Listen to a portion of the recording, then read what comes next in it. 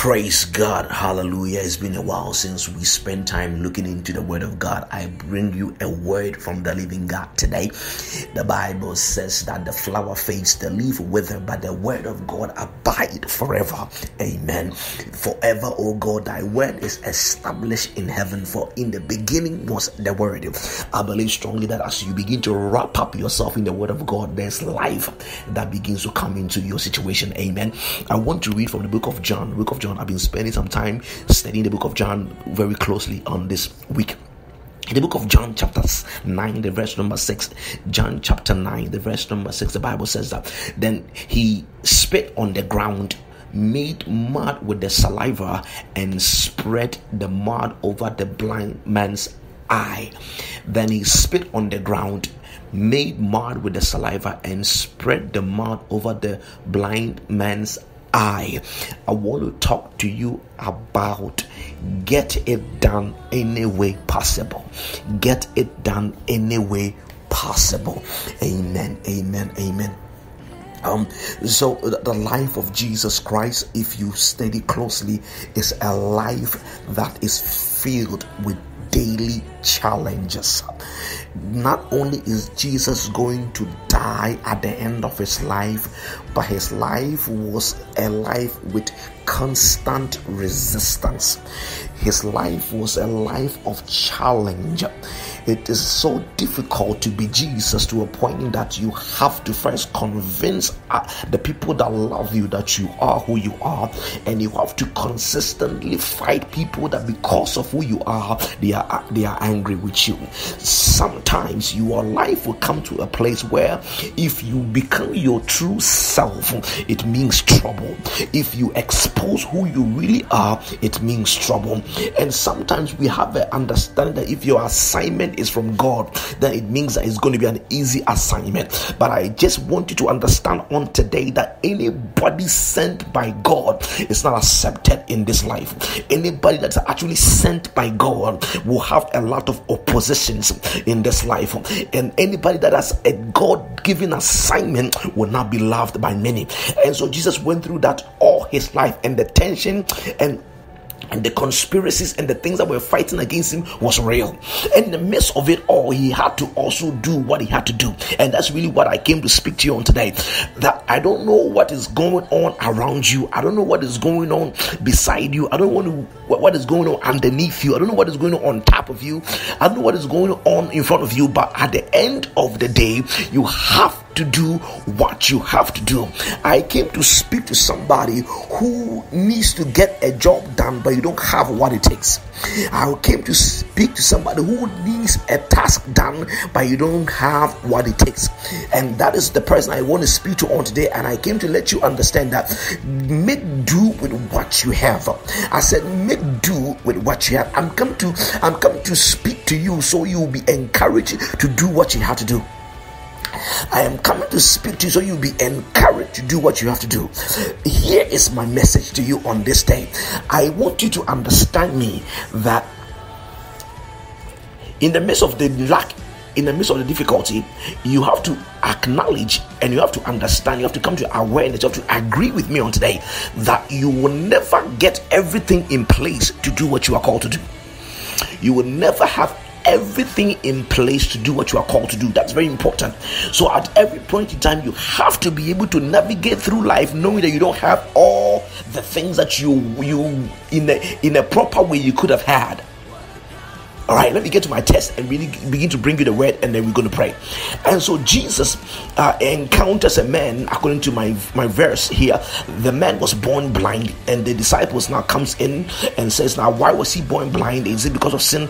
And Jesus said, "No, it's not because of sin, but because of the will of God that must bring glory out of his life." And so, in the midst of it all, he tells them, "We gotta work because God has apportioned a lot of things that needs to be touched whilst we have the time." And so, let's get busy and so he turns around and he recognizes that apart from the fact that he has preached so powerfully, apart from the fact that he has explained the situation, he actually doesn't have the tokens and the things that will cause the man to see. so you have, it's like you have preached the preaching.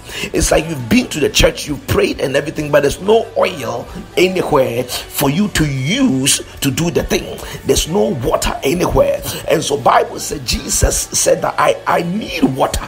I need water because it is water and, and, and the and the earth that creates. And so I need that two elements.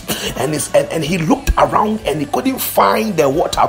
And he says actually i'm going to get the water which is in me. So scripture say he spat on the ground and he mixed it together and he spread it in the eye of the person. And the Bible says they said, Go to the place called Sent. And the Bible says, when he went there, he came back singing. I came to let you understand that make do with what you have and you will come back singing. Now, let me give you a practical testimony. There's a, a man in, in Africa who did a very popular song. It was a very simple chord progression, and the song was Do Something New in My Life. The testimony behind the song was that after he has recorded his, his own CD. He was walking out of the studio when he just felt that let me do a simple song at the end of this CD so that my song will complete. And that simple song that was not planned, that was not thought about, that's the song that became a hit on the whole project. What I want you to understand on today is that the thing that God is going to do in your life is going to come up with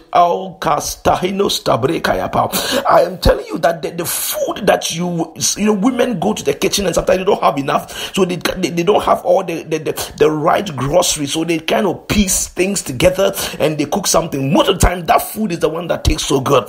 God is telling me to tell you today that make do what you have. You don't have all the equipment.